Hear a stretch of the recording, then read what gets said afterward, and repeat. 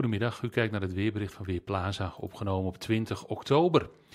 Het is bewolkt in Nederland en er vallen diverse buien vanmiddag. Ook vanavond kan dat nog wel. De meeste neerslag die valt in het westen en noorden van het land. Vanavond zijn er gewoon veel wolken en de temperatuur ligt zo rond de 14 graden. Er staat een matige tot krachtige wind uit het zuiden tot zuidwesten.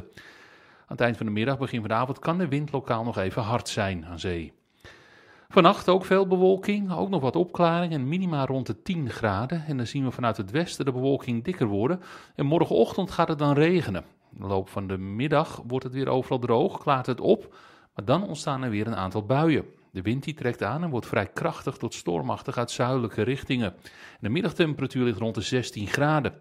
Zondag wordt het maximaal 12 graden. Dat wordt een frisse dag met veel wind en neerslag. Vanaf maandag gaat de temperatuur weer iets omhoog.